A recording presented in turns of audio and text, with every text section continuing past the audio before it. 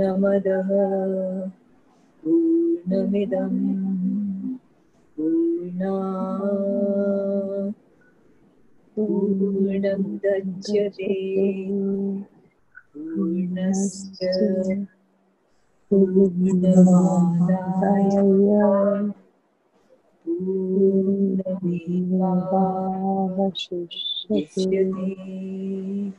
Om Shanti, Shanti, Shanti. Hari Yesterday, we had a very beautiful discussion regarding uh, where Sri Aurobindo says that love and joy are regarded as the very source of the divine existence in the universe and the very foundation of divine life in the human being. So then we talked about Ananda. How did Ananda become the very inception of life on earth? And we realized that when Ritam and Satyam had become had become in the inconscient, then the divine looked within himself and found love and joy. And that love and joy came down as sparks, sparks of the divine fire. And that is our soul. And that is what impregnated the inconscient. Right? So, Ananda, because I told you that Ananda is the very base of everything. It is that I found in the delight of existence, a chapter in the Life Divine written by Sri Aurobindo. So, Muna ma'am, if you can um, show us the reference, we'll start with Ananda. Ananda dhyeva khalvimani bhutani jayante. From delight, all these beings are born. Anandena jatani jivanti. By delight, they exist and grow. Anandam prayantya bhim visam vishantiti. To delight, they return. So you understand that delight is a very raison d'etre of this whole universe. The divine became the universe, and from the, the divine was himself delight. And from delight, all these beings, this universe, you and I, we are born from delight. And by delight, we exist. By delight, we grow. And to delight, we return. So, our existence, everything, in the very ether, there is delight. We breathe delight. If there weren't this delight, we wouldn't be able to live for even one split second. Ko hevanyat kah pranyat yadesh akasha anando nasyat. For who could live or breathe if there were not this delight of existence as the ether in which we dwell? In the very ether in which we dwell, there is delight, the delight of existence. And we would not be able to even live or breathe if this delight were not part of the ether. So, Ananda is so woven into the very warp and weft of our lives. Sri Aurobindo writes in the Life Divines a very beautiful uh, chapter, Delight of Existence. Why should Brahman, perfect, absolute, infinite, needing nothing, desiring nothing, at all throw out force of consciousness to create in itself these worlds of forms? So, Sri Aurobindo is saying, why should Brahman, who is in, in itself perfect, who is in itself absolute, infinite, who needs nothing, who desires nothing, why should Brahman at all throughout his force of consciousness to create in itself, in himself, he has created these worlds of forms? For we have put aside the solution that it is compelled by its own nature of force to create. So this reason we've already, Sri explained in the earlier part of the chapter, that there is no compulsion on Brahman. There is no limitation on Brahman. So Brahman is not compelled to create, to become. Brahman is not obliged by its own potentiality of movement and formation to move into forms. It is true that it has this potentiality, but it is not limited, bound, or compelled by it. It is free. If then, being free to move or remain eternally still, to throw itself into forms or retain the potentiality of form in itself, it indulges its power of movement and formation. It can be only for one reason for delight. See, Brahman cannot be compelled by anything. Brahman has potentiality, no doubt, but there is no compulsion on it that this potentiality must put itself into a form. It is his own free will. He can decide not to become, not to manifest himself, but he manifests himself. So, what could be the reason for it? And Sri Aurobindo says that it is for the delight of manifestation. He was in delight even if he wouldn't manifest. Such is the reason, the reason for which we have come into existence. The reason is delight. Why should we not be in delight always? There was another question that had come upon yesterday, and Yogesh said that um, why don't you tell us the vidhi by which surrender can be done, the vidhi by which offering can be done. There must be a vidhi in the Shastras. And uh, I haven't studied anything, but a thought came to me as I was really dwelling on that thought all of last evening, today morning, today afternoon. And then a thought came to me that something that is done in a sort of a progression ki pehle ye karo, phir ye karo, phir ye karo, phir ye karo. That you do this first and then you do this, then you do this, then you do this. What happens in that?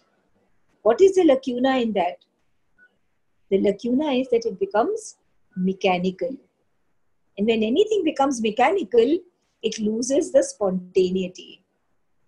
And when we have to offer whatever we are thinking, whatever we are doing, whatever we are drinking, eating, whatever, all our thoughts, all our emotions, all our actions, then it has to be spontaneous.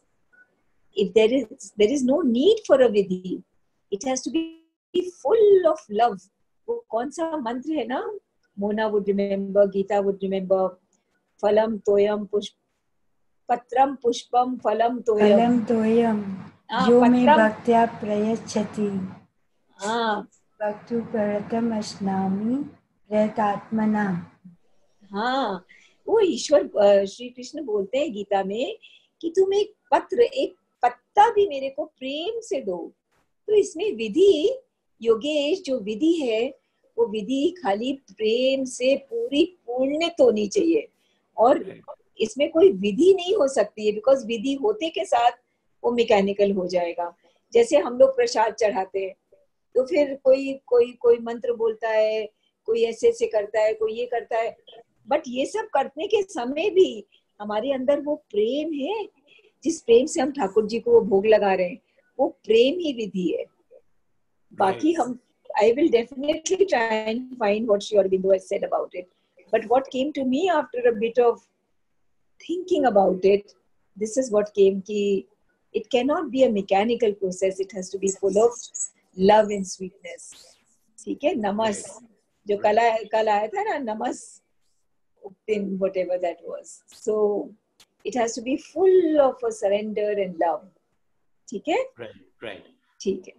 Before so now, we start, yeah, before हाँ. we start, I had one question on our yesterday's session yeah, you yeah. explained the footnote and the word was krato and for krato it said that it is the will before the action what was explained and what was the footnote also. It said that before the action starts there is a will and mm-hmm. of the divine spirit the will krato is that is what it explained. Now you know you just now also gave this uh, initial part of delight that the manifestation happened because there was the will for experience of delight, right? Now, yes. the soul within, the usual thought, at least what I understood, was it's like a divine witness it is like the Lord within. And what this Krato brought forward is that not only is there that element of a Sakshi in the soul within, but it actually has a will. And hmm. any action that we are doing, everything stems out from this divine which is within us, the soul. Is that what it was when it says Krato? Krato is basically the name that has been given to that soul, which is because the soul himself is the will, the will of the divine. And that is where we have to get aligned. That is what we have to get aligned to. Abhi, we are working with our mental will, our mental decisions. But that mind has to align itself with the divine will. Right. Which is Krato, which is the which is the soul within, the Agni. Right. Is that your that's the answer that you're yourself was saying, right? Correct. So the will is so the soul has a will, and when so I was just trying to get the when they explained the 17th verse, it when so just to get the relevance of this. So it says there is this will, and when he says krato, it comes twice in the 17th verse, right? Yes. So is it to align with this divine will when he says the first line of the 17th verse? Is that what the the, uh, the second read line the Yeah. second line of the 17th verse says om krato smara kritam smara krato smara kritam smara and the english uh, english translation is om o will remember that which was done smara. Remember that which was done. Remember. O will remember that which was done. Remember. Right. This, this is what it is saying. And what we remember what we understood by it was that the will the agni always remembers because it is jata veda the jata veda it is called jata veda because it had come into being when did it come? When there was the inconscient. From then the will the agni by its baking process has been baking and the inconscient turned into matter. Matter Right. turned into life. So it has been part of the entire process. So all of it is remembered by it by the will anyway. What we are trying to say is that you remember and you bring it forward so that we too align ourselves with thee this is the whole thing. Perfect. Thanks. Right? Yeah. Okay? Okay.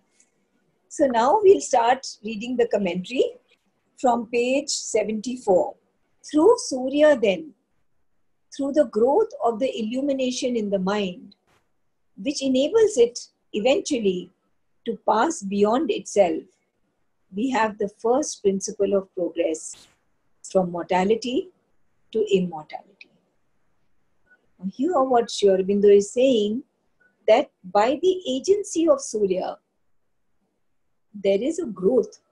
There is a growth in the lighting up of the mind, which results in making the mind realize the need for going beyond its own limitations and thereby moving from mortality to immortality.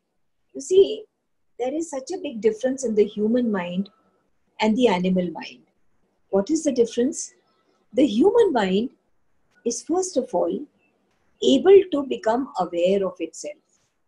The human mind can become aware that I am feeling pangs of jealousy, conscious of itself. An animal mind cannot do that. And the second thing that the human mind can do is that it can control what the mind is going through. The mind itself can control it. So, all this happens how? By the agency of Surya.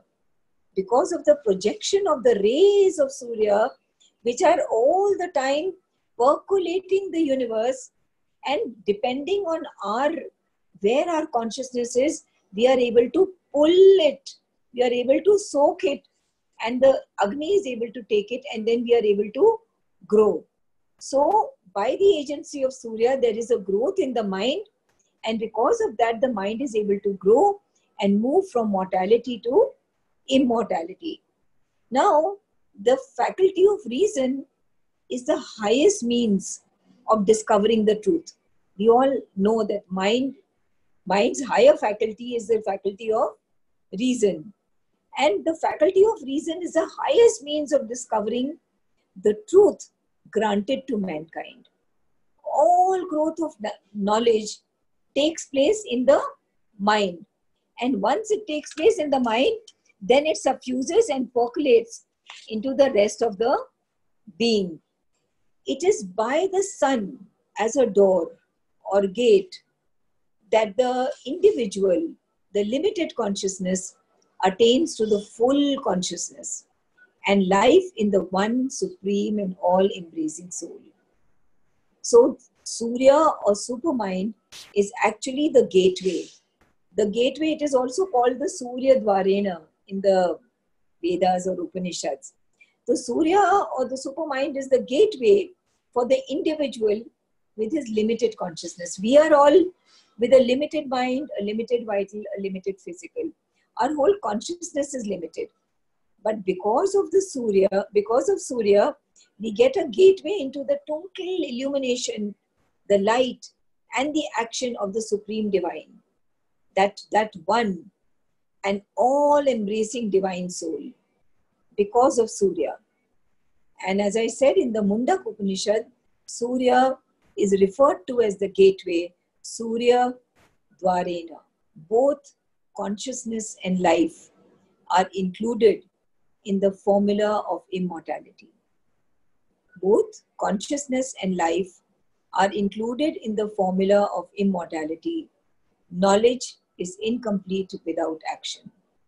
Now, consciousness here, we must understand that whenever the word consciousness is used, it also symbolizes knowledge. Consciousness is also knowledge.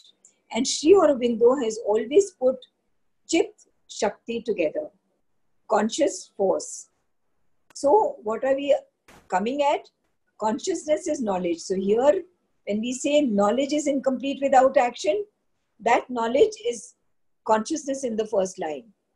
Consciousness is knowledge, is awareness, and it always has a force with it right? Chit Shakti. These are all actually synonyms. And when we use the word life, what when Sri Aurobindo uses the word life, here life means action. See, when we use the word prakriti, pra means to go forward, and kriti is kra is action, right? So, life is actually denoting action. Conscious both consciousness and life are included in the formula of immortality in the vedic tradition. Immortality implies the working together of consciousness or awareness and action knowledge and action here consciousness is knowledge and life reflects action bhagavad gita abounds with so many verses in which Sri Krishna tells us how action is so important. Action is more important than inaction. For example, in the eighth verse of the third chapter, Niyatam Kuru Karmatvam Karma Jayo Hya Karmana Sharira Yatra Pichatena Prasiddheda Karmana. Do thou do controlled action, for action is greater than inaction. Even the maintenance of thy physical life cannot be effected without action. And then again in the third chapter, 20th verse, कर्मणैव हि संसिद्धिम् आस्थिता जनकादयः लोकसङ्ग्रहम् एवादि sampashyant kartum arhasi. It was even by works that Janaka and the rest attained to perfection. Thou shouldest do works regarding also the holding together of the peoples. So, karma has been again and again and again and again given so much importance. It is only during a long period of, I mean, when Adi Shankara talked about becoming monks and sannyasis and not doing action, and then the Buddhist Buddhism, that this whole tradition of action started getting replaced by inactivity.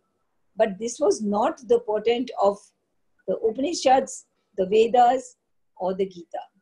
Action is very, very, very important.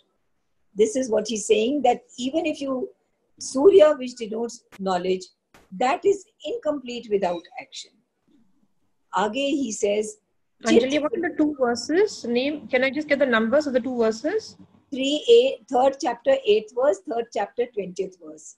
Eighth and twentieth. Okay, thank yeah, you. Sri Aurobindo has said now that because you are one who will memorize it so fast, that Sri Aurobindo has said verses, th- third chapter, verses 20 to 26 are probably the most important verses of the Gita.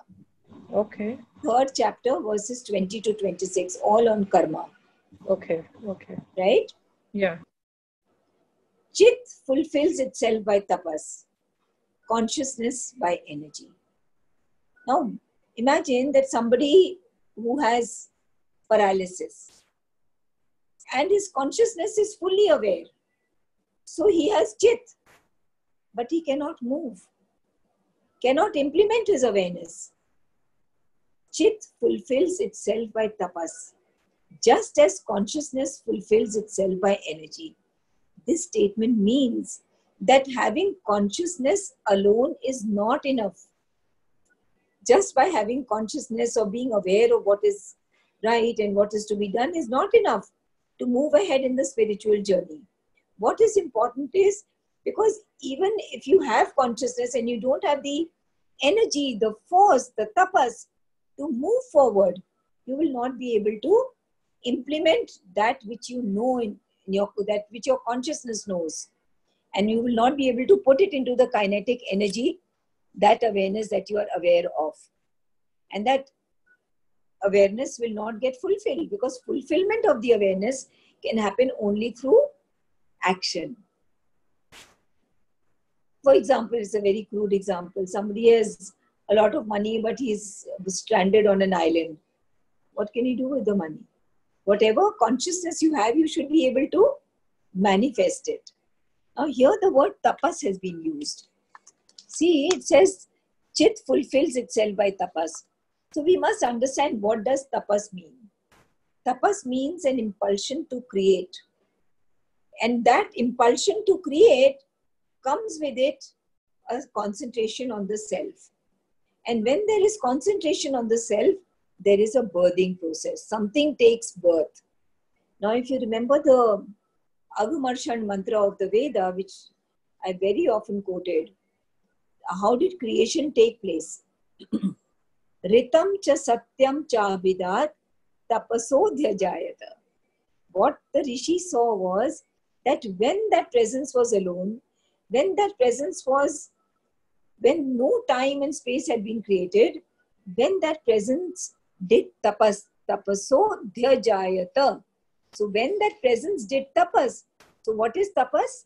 Tapas is an intention, and with that intention, there is a self concentration.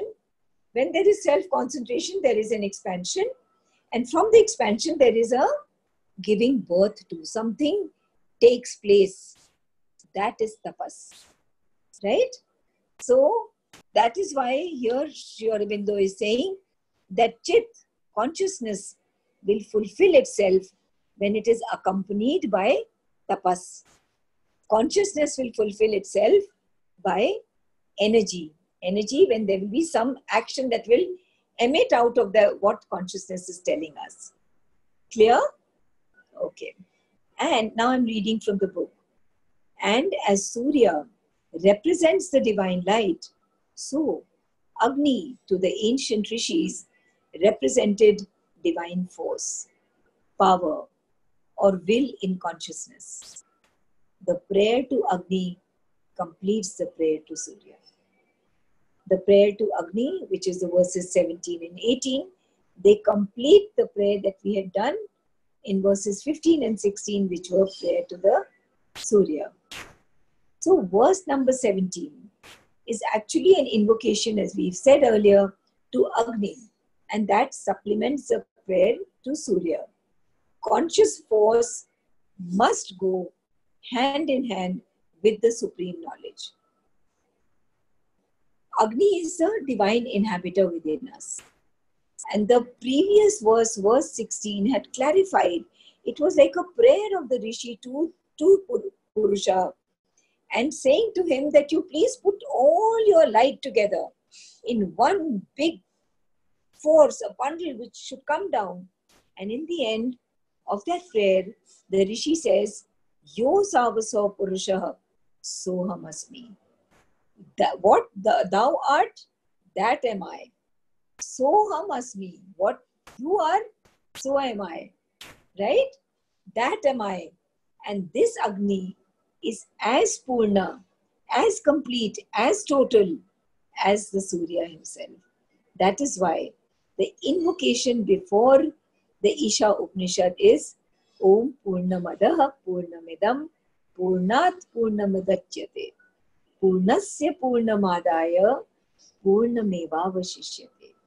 Therefore, in this sentence, Sri Aurobindo says that just as Surya in the Vedas represents the divine light, and divine light means knowledge.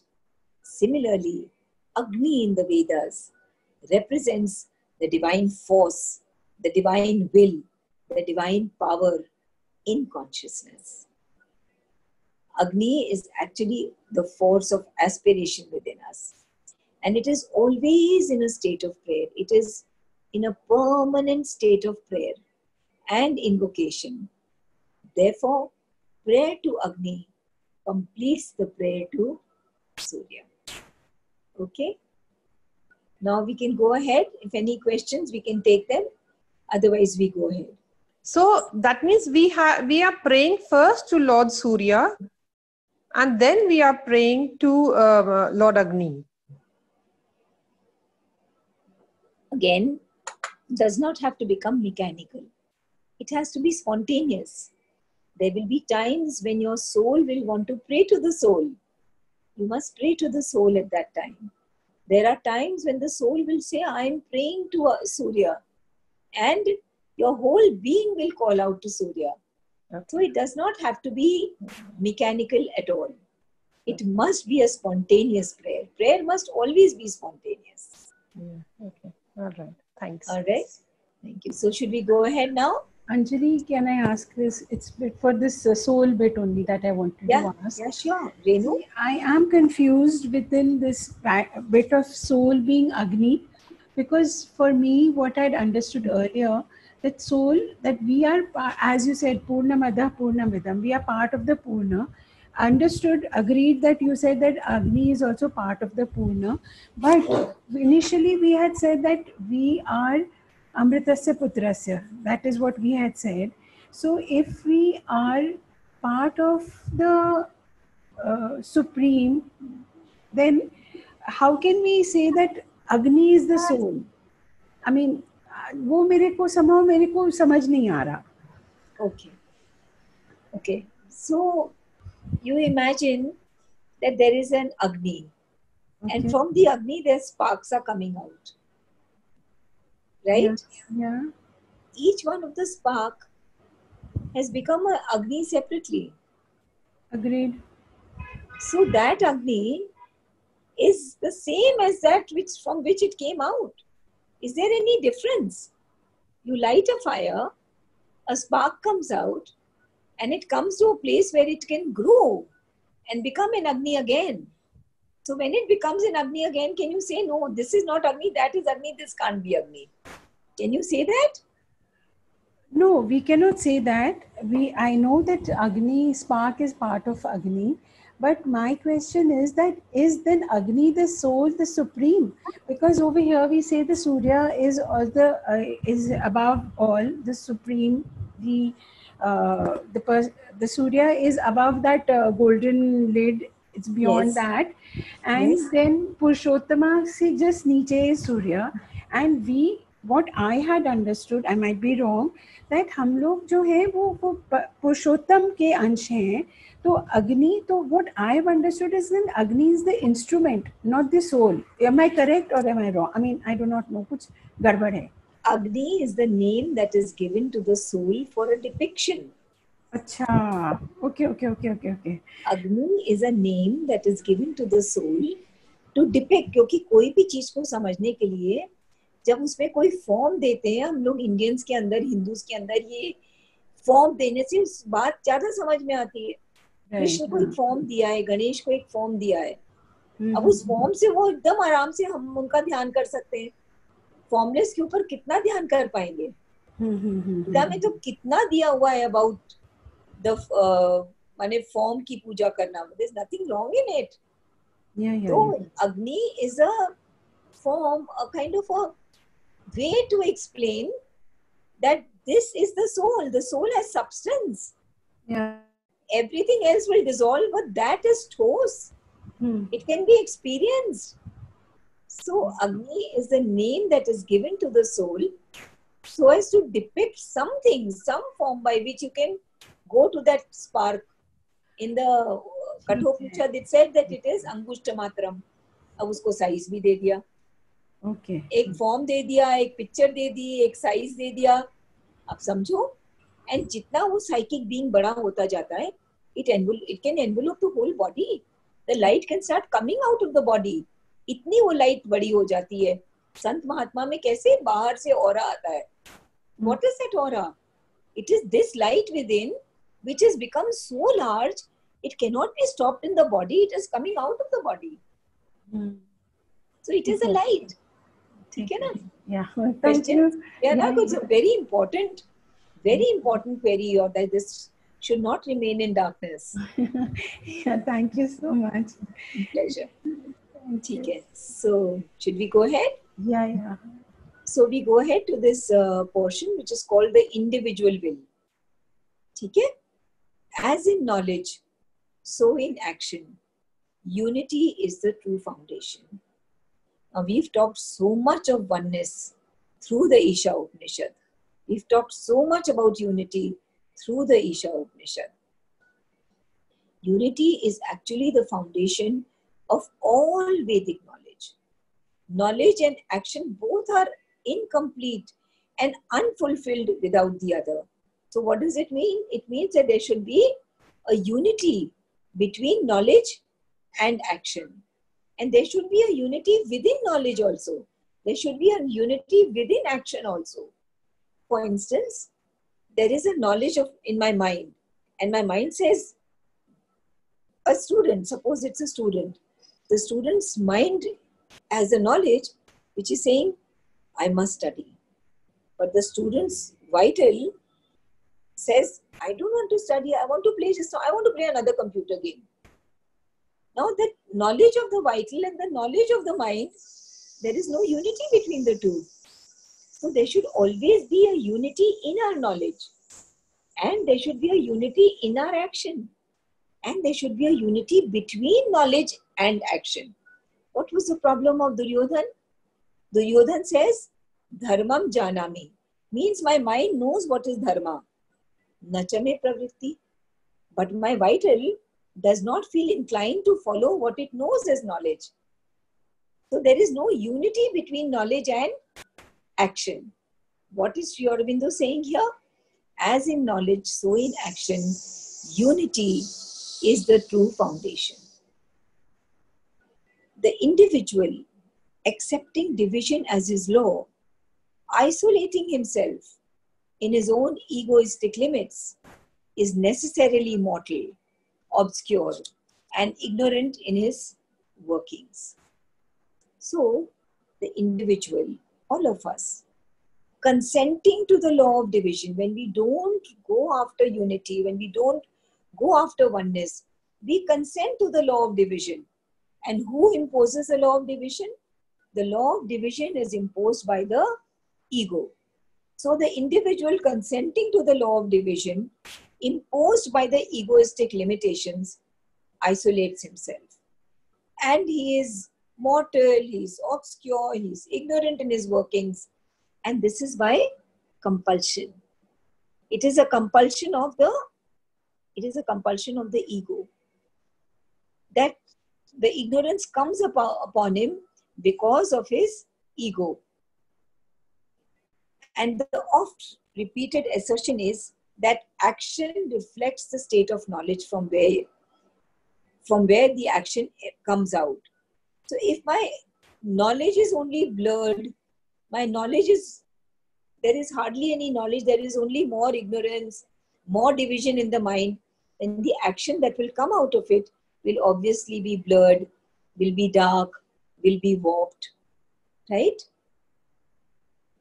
And talking about such a person, Sri Aurobindo says, he follows in his aims and in his methods a knowledge that is personal, governed by desire, governed by habits of thought, obscure, subconscious impulses, or at best, a broken, partial, and shifting light.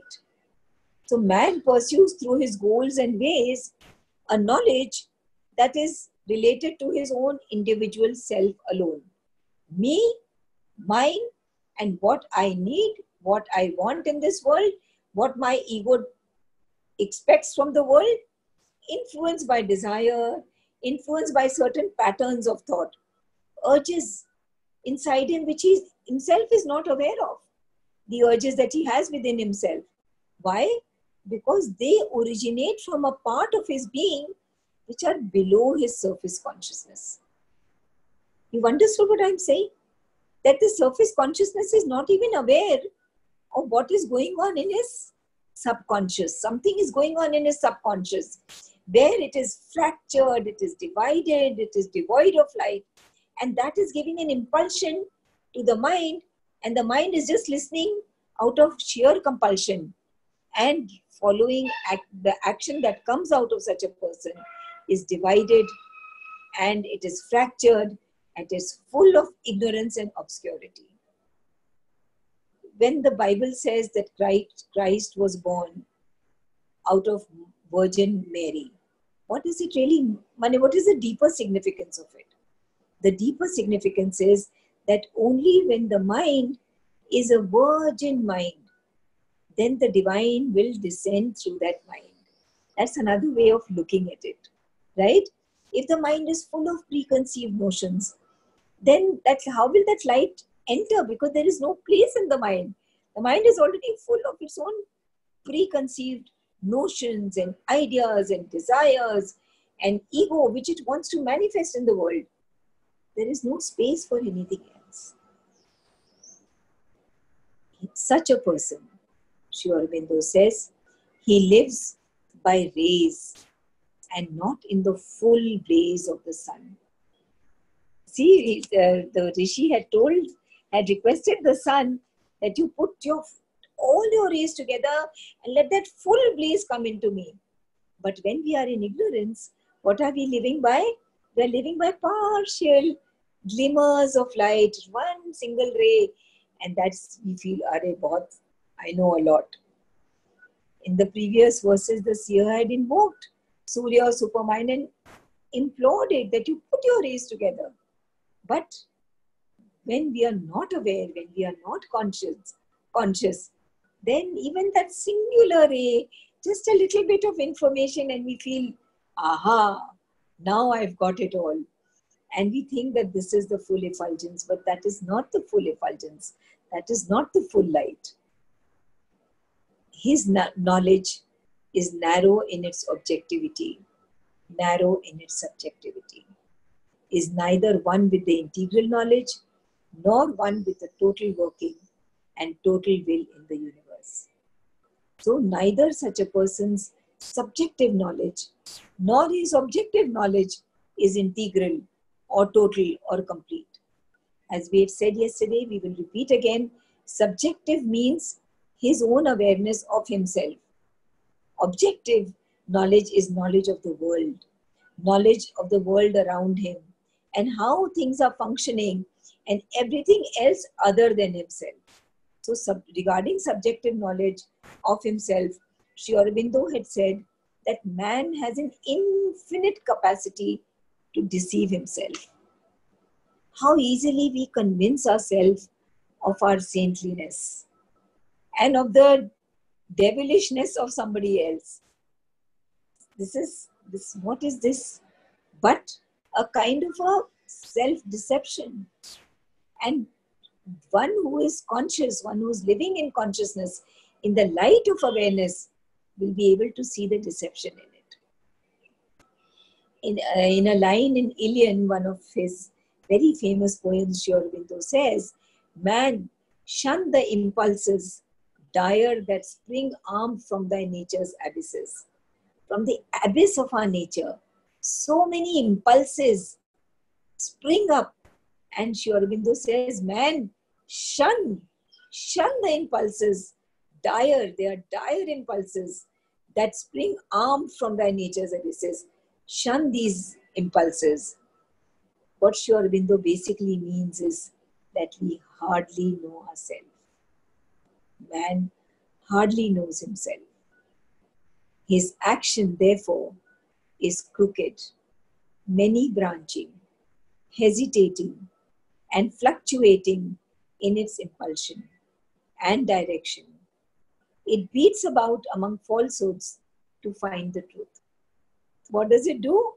It beats about among falsehoods to find the truth, tosses or scraps fragments together to piece out the whole, stumbles among errors and sins to find the right. Now, in the Bhagavad Gita, in the second chapter, Sri Krishna says, the intelligence of the resolute is single and one pointed, whereas the intelligence of the irresolute is many branching. One who has focus who has decided that this is the focus of my life, and everything I do will take me one step forward in that direction. This is the resolute mind, the one which has one focus in life. Now, when that one focused person, suppose that one focused person says, I want to reach the experience of oneness, or I want to reach the experience of unity, then even when one that person is desiring in the world, he uses that desire to fulfill the purpose of reaching oneness. He doesn't have the Bahushaka. The verse is, it is in the second chapter, verse 41. I'm sure Mona would be able to just recite. it is Vyavasayatmika buddhi reke kuru nandana Bahushaka yanantas. Yes, very good. Thank you, Mona. The fixed and resolute intelligence is one and homogeneous. O joy of the Kurus. Many branching and multifarious is the intelligence of the irresolute. A resolution in लिया towards some one purpose, one growth. तो वो तो कभी sometimes he will run to this branch, sometimes he will go to this, sometimes he will he will follow all kinds of things and not reach anywhere. The normal example that is given is that I want to dig for water. Now, if I dig 10 feet here, 100 feet over there, 500 feet over there, I'm not going to reach water. All the digging has to be done in one place. So, the one who has not taken a resolution to really, a resolution, whatever be the resolution, one resolution. And everything that that person does in life should take him towards the fulfillment of that one resolution. Iqbal also is written for the sincere devotee, and he says that the city scholar has a whole treasure of religious texts, so many dissertations and commentaries, and he's got these thousand books, and he's looking at this book and reading this author and going to that scripture. The resolute, the one who is a real devotee, Iqbal says, for him there are only two words La ilah. La ilah, God is. And for him, that is the beginning of his reading and that is the end of his reading. So he is not divided in his pursuit of methods. So, though his goal is to find the truth, what happens to the person whose goal is to find the truth, but he is going through 100 methods? He probes among errors. And he hopes that going through errors he will be able to find he will be able to find the truth. And he aspires to reach the whole randomly. Very randomly he's throwing parts together little from here little from there instead of going to the whole directly. So this is the problem of the irresolute the one who has not taken a firm resolution and not yet found a path Further, Sri Aurobindo says, being neither one visioned nor whole visioned, having neither the totality of the universal will nor the concentrated oneness of the transcendent, the individual will cannot walk straight on the right or good path towards the truth and the immortality. See, the individual will has neither the single comprehensive vision of the transcendent, nor the vision of the totality, nor the vision of the cosmic, the cosmic vision, and is therefore constrained. And since he does not have that full vision, he is unable to walk on the straight path. He is unable to walk on the right path. The Riju, Riju Pantha and the Ritasya Pantha, which will alone lead him to truth and immortality. The limited individual will, because it is deprived of this one vision, this one vision of the transcendent and the total vision of the cosmic. So he is unable to tra- travel on that path. So actually, here, immortality denotes a complete alignment. Uh, we have to be, our entire being has to be completely in, aligned by the individual with the divine, with the supreme, with the supreme will. And how far is the divine will? The divine will is right there within our own being. Spontaneously, when we align ourselves to the divine will and we call out to the divine will, we call out to the divine will in everything we are doing. We say, Let thy will be done. Let thy will be done. And we invoke the divine will. We are in constant contact with the divine will, continuously communicating with the divine will. Then this is called transparent instrumentality. Then the divine will will start flowing from our this instrument, and that will be called transparent instrumentality. Right? We'll read further. Governed by desire, exposed to the shock of the forces around it, with which its egoism and ignorance forbid it to put itself in harmony. It is subject to the twin children of the ignorance. Who are the two children of ignorance? Suffering and falsehood. So, the limited, ignorant, and egoistic individual will being dominated by being dominated by desire it becomes subject to the impacts of its environment because you've opened yourself now you've opened yourself to the negative forces because you yourself have been you've aligned yourself to the negative forces by aligning yourself to desire and to ego. And then you become subject to the impacts of the environment and prevented by its egoism and ignorance to harmonize itself. Then this becomes a victim of suffering, a, a victim of falsehood, which are the twin children of Satan. So, because if we align ourselves, if we align our whole being, our individual will is aligned to desire and ego. So, it gets aligned to ignorance. And because it gets aligned to ignorance, it gets open, it is open to the impacts of the environment. Now, if I am aligned to the divine will inside, I will be impacted by the divine will itself. But if I am open to desire and ego, I am open to the impact of the environment. And what what will we be impacted? We will become victims of. We'll become victims of the children of ignorance. And the two children of ignorance are suffering and falsehood. Further, Sri Aurobindo says, not having the divine truth and right, it cannot have the divine felicity. See, the divine Ananda is experienced. When is the divine Ananda felicity? What we call that beautiful word we learned yesterday, Rai. Ra eh? is a very important syllable of the alphabet. Everything with Ra you'll find is leads to some kind of a joy. I had three, four words in mind in the morning. Ra, Ritam, don't know how I've forgotten those words. They'll come back to me. Riju, Riju Pantha. Riju, Ritam, Harsh, Rishabh. Rishi. There are many words that came in the morning. I've, I've lost them just now, but I'll send a WhatsApp of them. So, Rai, Rai is that supreme felicity, the supreme divine Ananda is Rai. That's what we talked about yesterday. So the divine Ananda, Rai, is experienced when?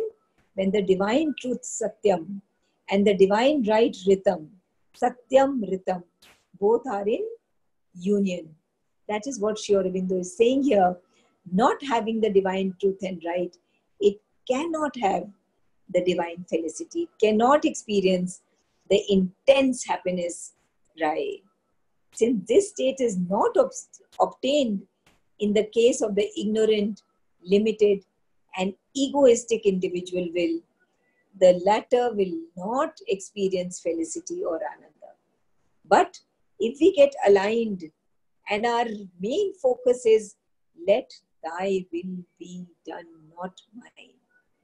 Let the divine will be done, not mine. And we know that the divine will is there hidden secret in the soul, in the fire, in the Agni. All we have to do is call out to the Agni in all that we are doing. Invite the Agni to lead the way. It may we may find the way very difficult. We talked about it yesterday. This path is not meant for the weak. This path is only meant for those who are strong. Because this path is a tough path, but it leads to the supreme happiness. If the supreme happiness unbroken, constant, divine Ananda is our goal, then we have to go to Agni, who is always in connection with the with Surya. Agni and Surya are always connected. We have to go to Agni, who is connected to Surya, and we will be led towards that supreme happiness. So we can start the next portion because it's only four o'clock. Would everybody like to keep to read ahead? we may not be able to finish the next portion, but we can start it if you all want.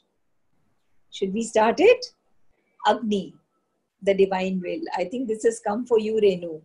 But as there is in and behind all the falsehoods of our material mind and reason, a light that prepares by this twilight the full dawn of the truth in man See what Sri Aurobindo is saying? But as there is in and behind all the falsehoods of our material mind and reason a light that prepares by this twilight the full dawn of the truth in man. So there is in and behind all our errors, sins, and stumblings a secret will tending towards love and harmony which knows where it is going and prepares and combines our crooked branchings towards the straight path, which will be the final result of their toil and seeking. See, our present limitations are deliberate preparations for achieving the ultimate fulfillment. All the mistakes that we are doing, all the limitations that we are experiencing in our own being, who can be more aware of one's own weaknesses than oneself? Nobody else outside knows the weaknesses of my nature. I know my nature, I know my stumblings. You know your nature, you know your stumblings. So, just as our ignorant physical mind and reason and la- entangled in falsehoods, that too is an instrument of the higher light of Surya through which it is being taken from complete darkness to twilight, where there is a little light, and then it is taken to the dawn, where there is the beginning of light, and then it is taken to the full light of truth in man. So, even when we are in ignorance, even when we are in darkness, it is Surya who's guiding us. Similarly, all our errors, sins, stumblings are used unknown to us by a secret divine force, by a secret divine will or Agni, which is ten, tending towards divine love and harmony. All our mistakes are used for a purpose by which we can move forward to something higher, something more beautiful. This secret divine force or will is the Agni, is this inhabitor within us, which is unerring in its progress. It will use the smallest mistake, it will use the biggest crime, and it will use all our deviations, ultimately taking us to the straight path, Viju Pantha, which will be the final outcome even of our most ignorant seeking and striving. What a big relief this is that हमारी जो stumblings हैं हमारे जो errors हैं हमारा जो falsehood है even that is being used by this inhabitor by this divine अग्नि inside us. तो आप सोचो कि जब हम कॉन्शियस हो जाएँगे उन स्टम्बलिंग्स के, और हम उन स्टम्बलिंग्स को, उनको ऑफ़र करेंगे कि ये लीजिए, अग्नि में तो सब कुछ प्योरीफाई होता है गोल्ड भी प्योरीफाई होता है तो हमारे इन एरर्स को भी जरा आप प्योरीफाई कर दीजिए। Please help to purify my falsehoods and when we become conscious of our falsehood and we place it before the Agni and say here Agni I offer this to you I offer you this I offer you this desire, non ending desire. I offer this ego to you. Please transform it, change it. What will Agni do? When it is using it, when we are unconscious, when we are conscious, how the transformation will take place just by the waking of this Agni. This will has to emerge and come forward. The emergence of this will and that light is the condition of immortality what are we aiming at we are aiming at immortality in the present context, the implication of immortality is coming to the forefront of knowledge or the light of Surya and of the executive will. This will should start executing itself, and this body, this vital, this mind have to become a perfect bow. A bow in which the arrow is being shot by the will and it goes straight to the mark the action that comes out of us is an action that has been let out by the archer who is this inside us. This will is Agni. Agni is in the Rig Veda, from which the closing verse of the Upanishad is taken. We had talked about it when we read the 18th verse. The flame of the divine will, or force of consciousness working in the worlds. This will is Agni. The last verse has been taken from the Vedas, bodily lifted from the Vedas and just come into the Upanishads. Agni in the Rig Veda represents the dynamism of the divine will or force of consciousness which is working in the world. We will read ahead. Now we're talking about Agni, Agni within, the soul. He is described as the immortal immortals. Marteshu. Amartya. That which is Amartya, which is immortal within this mortal sharir, within this mortal body. He is described as the immortal immortals, the leader of the journey. Remember? Om Agni Mire, Purohitam Yagyasya. You are the leader of this journey. The divine horse that bears us on the road, the son of crookedness, who himself knows and is the straightness and the truth. So, Agni is the immortal soul or Antaratman in the mortal being. Vinsayash. So, Avina, I can't read this. The immortal. Why, sorry. Huh? Yeah, yeah, say. An- Anjali, why is he called the son of crookedness? We are coming to it. Okay. We are coming to it. Yeah. Okay. So Agni is the immortal soul in this mortal body. And as the Bhagavad Gita has said, Na hanyate hanya mane sharire, that which is not destroyed with the destruction of the body. Agni has been described in the Rig Veda, the first verse, Purohitam, Om Agni Mire Purohitam Yagyasya, that we've already said, the leader of this whole yagya of life. The dynamic force of will is referred to here as the divine horse. When in the Vedas, the Rishi talks of the horse, and these foreigners who explained the Vedas said, Are they, these people are very rustic, they are really uh, crude, they are only praying for cows and horses. They did not know that we use symbols. Cow is a symbol that the Rishi is praying and asking for light. Go is light. And whenever the Rishi talked of the horse, it was the divine power that he was praying for. The force. Remember, we talked of Chit Shakti, that force that is full of consciousness. That is what they meant when they were praying for horses. And here he says, the divine horse that bears us on the road. It is that divine force that will take us on that straight road. It is this force of will that takes us forward on our spiritual journey. Now, son of crookedness implies that even the divine will chooses to veil itself and then emerges from that veiling of ignorance into the divine light. So it looks that even when we are doing crooked things, the it's not that the divine will has gone to sleep. Without the will, without the Agni, without the Antaratman, we cannot do anything. But it has veiled itself. But even through the veil, it is the force, it is this force which has allowed itself to be crooked and winding and devious and allowed itself to take that course because it does not believe in forcing itself. This is a law that has been placed on Agni before the divine Surya sent these, these droplets of Agni, or you can call droplets of love, or droplets of Ananda, or this Agni. The law that was given to it was you will keep yourself veiled, under veils, until the outer being invites you forward into their action. You will just send little intimations of, of light intimations of what is the right thing to do, but you will never ever force your will on humans. Right?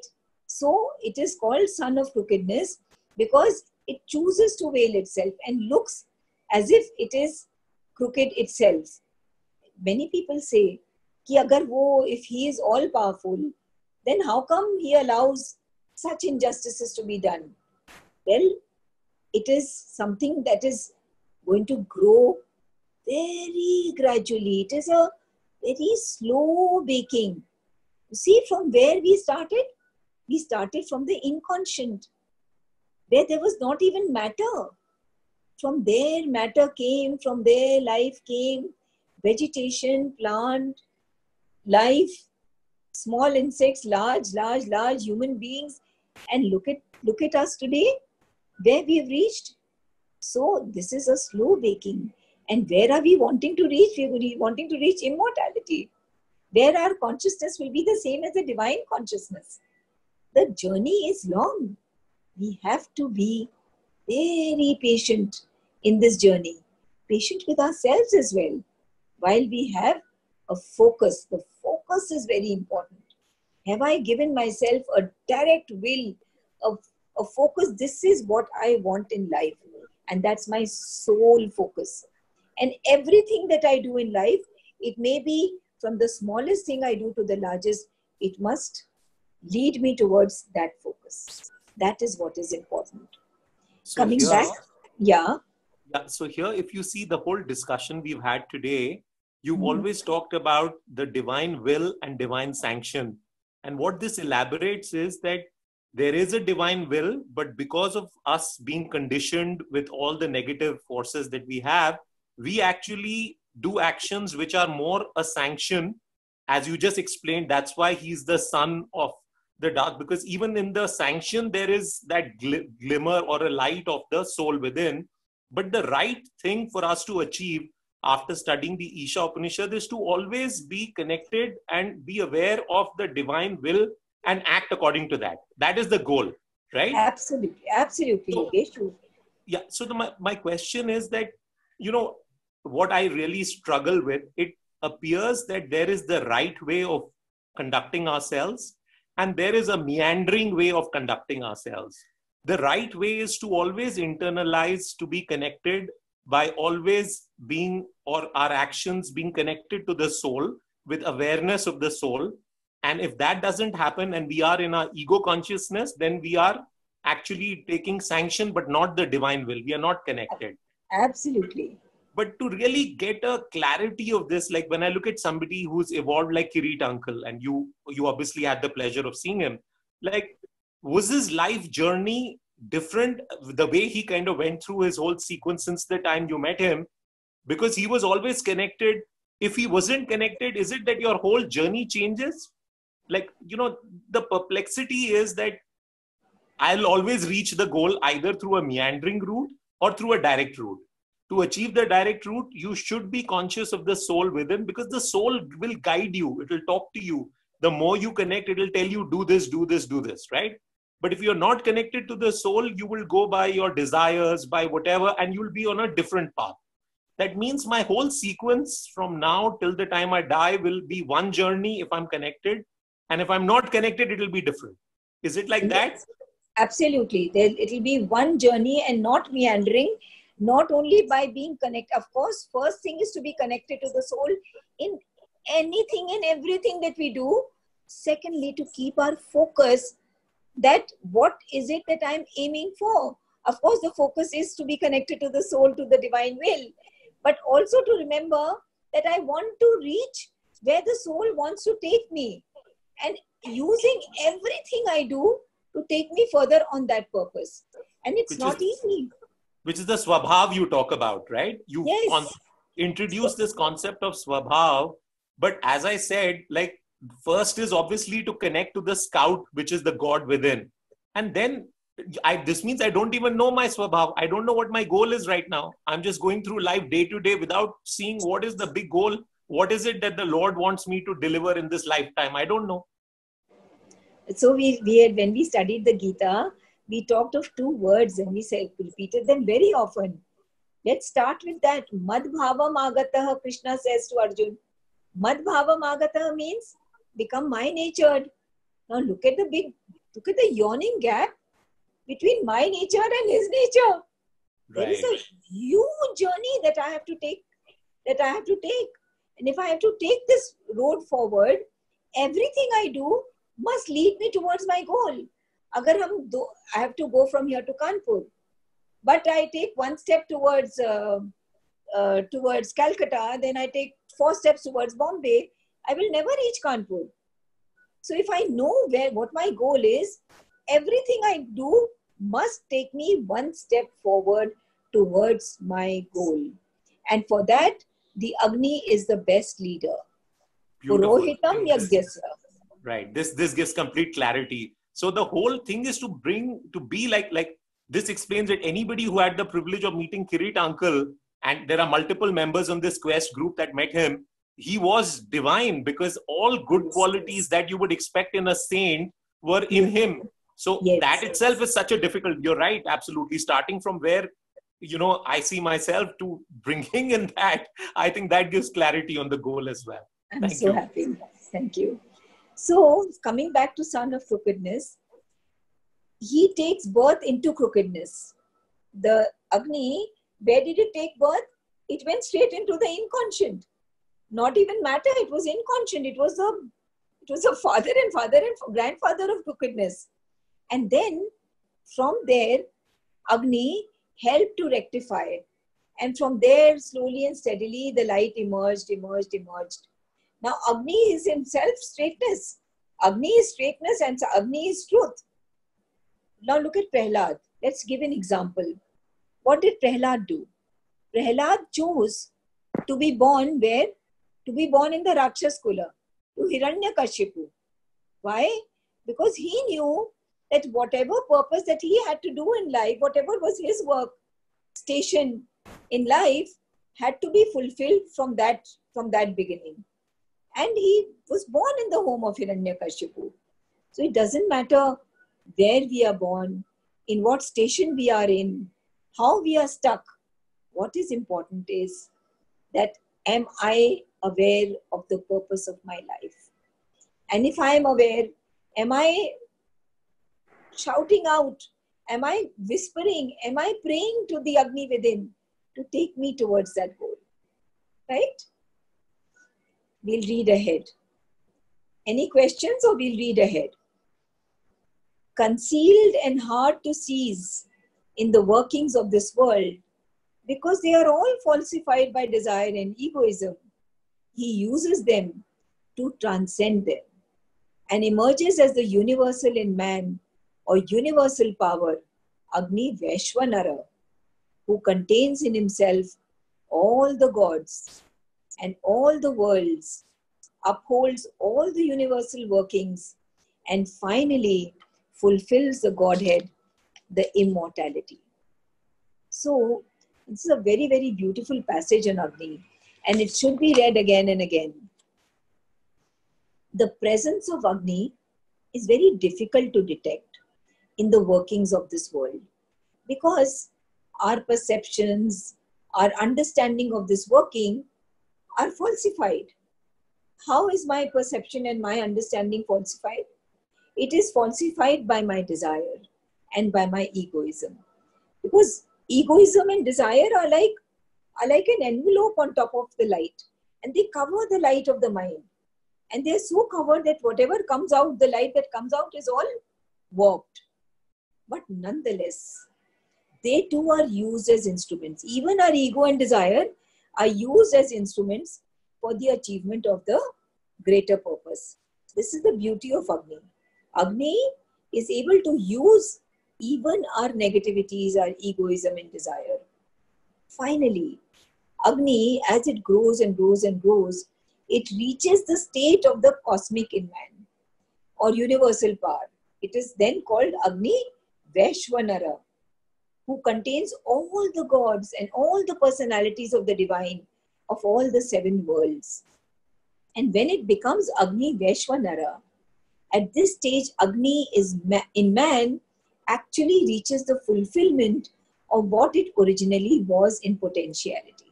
It, that is, it becomes the supportings of the working of the whole cosmos, and thereby finally fulfills the divine in actuality.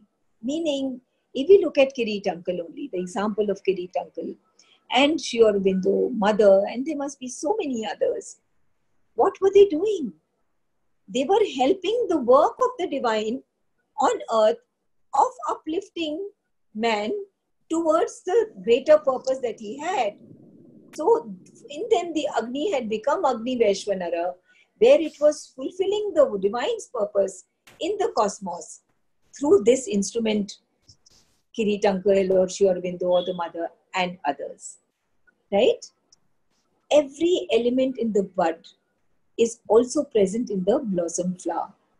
Meaning, thereby, when the bud is a bud, every element that is in the flower is already present in the bud. It is not that some petal or some other part of the flower comes into existence from somewhere else. It is all there as a potential inside the bud. And in the act of blossoming, each one of them comes out. So, yet there is a difference. There is a difference in the bud and the blossom flower. And what is the difference? The difference is that the unity of the bud is unexpressed. It is unrealized. There is unity, but it is unexpressed and is unrealized. Whereas in the case of the flower, the unity finds expression, which means that unity is achieved even when multiplicity is expressed. Ayato, they are all together. But when it is blossom, there is multiplicity. There are so many petals you're seeing. But yet there is a unity. So the, there is unity in the expressed multiplicity. In the blossom flower, the unity is tested and it is achieved in multiplicity, it is achieved in diversity right? It is this sense of achievement which is the secret underlying ananda in manifestation. That when that ananda is achieved, when that highest potential is achieved, there will be ananda in the manifestation, and that ananda is already present inside us in the form of potentiality, in the Agni, in the will, in the soul, in the Antaratman. Sri Aurobindo's lines earth's soul needing the touch of heaven's peace to recapture, and heaven needing earth's passion to quiver its peace into rapture. See, earth's soul, what does it need? It needs a touch of heaven, heaven's peace to recapture joy. And what does heaven need? Heaven is all quiet. Heaven needs earth's passion to quiver that peace, that peace that is there in heaven. It needs to convert it into rapture. Rapture, that in, in that joy, that ananda. And it is that joy, for that joy, the divine, what you may call heaven, became the earth, became the opposite of himself, but suffused it, impregnated it with Ananda. But that Ananda cannot be experienced in one blow. It's not like a bomb. It is slowly and steadily growing, growing, blossoming through all of us. And we will reach that state of blossoming, full blossoming, where we'll be able to experience the highest Ananda, Rai, intense joy, felicity, because that is the very breath of life. He is the worker of the divine work. He, Agni, is the agent for carrying out the divine plan, the divine work on earth. He is the agent. It is these symbols which govern the sense of the two final verses of the Upanishad. Surya, the verses 15 and 16, and Agni, verses 17 and 18. They are, Surya and Agni are signified by knowledge and the force or will, and are the two symbols which are made use of in the two final verses of Isha Upanishad. I think we should end here and we can take some questions if there are. For those of you who were, I think everybody was there when we answered yesterday's discussion on um, offering and the offering being in some kind of a vidhi कि कोई विधि है क्या Yogesh had asked कि कोई विधि है क्या जिससे कि uh, some methodology by which the offering must be made and the thought that came to me for those of you who joined late the thought that came to me was that the that this whole instrumentation of offering has to be so spontaneous and so full of love from us to the divine and so full of our submission namas so full of our prostration so full of our aspiration that i want to be one with you through the food I eat, through the coffee I drink, through the bath I take, through the study I do, through the work I do, through everything, the love I give to my children, through the pain I get from every from whatever source I get, through all of it, I want to offer it all back to you so you may take me forward on the path of unity, of oneness, and finally towards becoming Madhbhavam, becoming his nature. So, such a process cannot have a mechanical methodology. It has to be so spontaneous that it just emerges from within us and it is offered at the feet of the divine. Yet I will study what Sri Aurobindo has said, if at all he has given some method. I myself didn't feel that there should be involved a mechanical strategy to it. So, any questions from anybody? In Yeah. that case, uh, Geeta here, uh, in that case, uh, what is the role of rituals? Because I think to reach that stage of a spontaneous offering, there is a process, I guess, and that's probably why we need a ritual even when you're offering. So to think of, you know, creating a routine of when do you sit on dhyan? Why do people say, you know, that there is a particular time after a bath, after having, you know, or that early morning. So I think there is also preparation, probably what the ritual is, or the, the what, as you said, the instrumentation may have, you know, the benefit. When we talk of dhyan and when we talk of offering, these are two different processes. Dhyan is a process. and ritu- uh, offering cannot become a process offering has to become part and parcel of our daily life of our of everything that are doing in life. So when we talk of meditation they say that you must do it at the same time every day. Because what happens when you sit down for meditation at the same time something in the universe starts calling you out at that time right? And something in you responds to the cosmos and to the divine when it is done at the same time. And there may be a process to meditation, but Sri Aurobindo even says that you can you can meditate, be in a state of meditation even while you're walking. And slowly and steadily, you can be in a state of meditation even when you're working. So, meditation is not something that can be done only as a ritual, as a process, but it has to begin like that. But when we come to offering, offering is to be flowing from the heart. I offer my being to thee. Now, when I offer my being to thee, it has to be full of my love, my devotion. How can a process be involved in that? And why should there be a mechanical process? The minute there is mechanics, instantly the mind goes on to the mechanics that हमने जब प्रसाद लगाया तो फिर हमने ऐसे प्रसाद रखा, फिर हमने उसमें ऐसे ऐसे करके किया, फिर हमने ऐसे ऐसे करके किया, जल को किया, फिर हमने वो मंत्र पढ़ा। तो where is my mind is my mind feeding the divine that food with a heart full of love and adoration? No, it's very कि हमको बताया था पंडित जी ने कि पहले ऐसे ऐसे ओम प्राणाय स्वा पानाय स्वा व्यानाय स्वा समानाय स्वा फिर पंडित जी ने बोला था जल की घंटी लेके ऐसे ऐसे करो फिर पंडित जी ने बोला था वो मंत्र करो मेरी दादी वो गाती थी where is my mind my mind has gone to the mechanics so it is very important that offering should be done with so much love and adoration that it doesn't matter how you're doing it this is my personal view but as i told promise yogesh that after isha upanishad is over i will definitely read whatever Sri Aurobindo has said put it together collate it together and read it out to you. But what do you say geeta?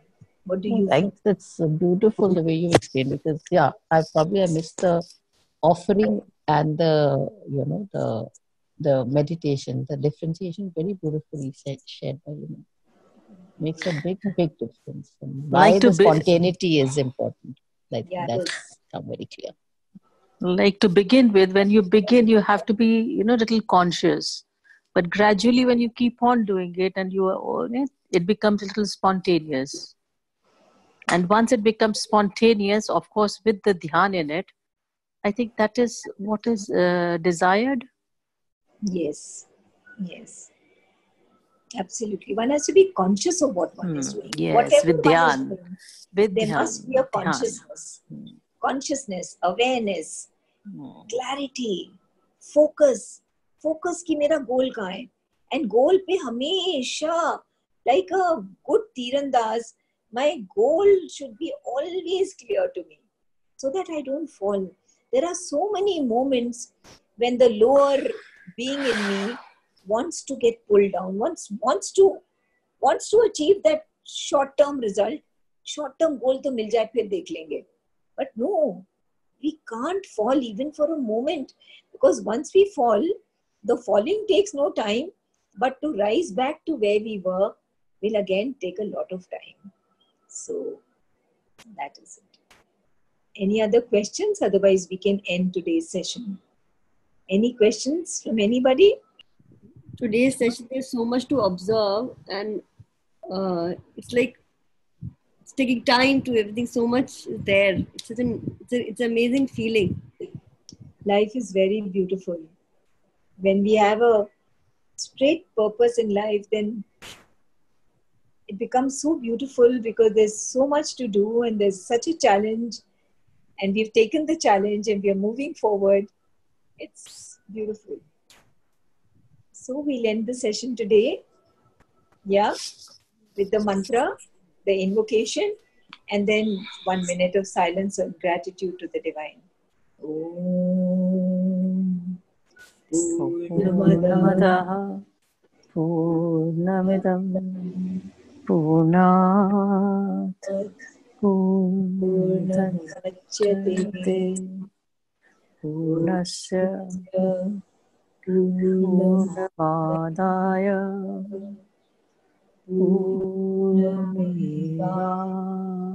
वशिष्यति